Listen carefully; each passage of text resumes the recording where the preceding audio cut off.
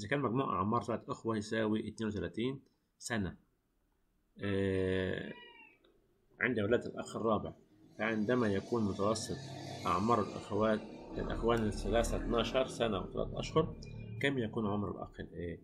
الأخ الرابع طب هنعمل إيه هنا يا جماعة؟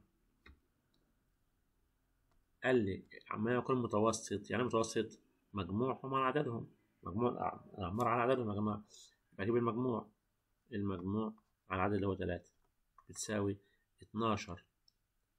اتناشر سنة وتلات أشهر. تلاتة شهر تمام كده يا جماعة؟ المجموع أجيبه إزاي؟ اضرب ضرب تبادلي المجموع بيساوي اضرب تلاتة في الرقم ده يا جماعة. تلاتة في اتناشر بستة وتلاتين يبقى عندك ستة وتلاتين سنة. و تلاتة في تلاتة بتسعة. تسع أشهر.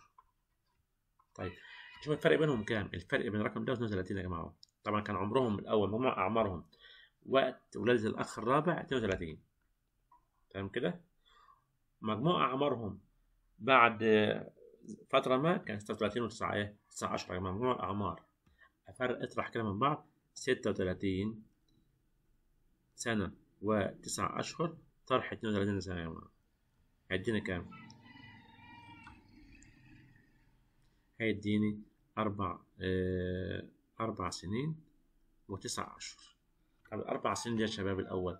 عبارة عن كام شهر كله؟ خليها كلها شهور وخلاص. السنة الواحدة 12 في أربعة تمانية وأربعين. تمانية وأربعين يا جماعة زائد تسعة كمان اديني آه سبعة وخمسين شهر. سبعة وخمسين شهر. دول يا جماعة مقدار الفرق بينهم الزيادة.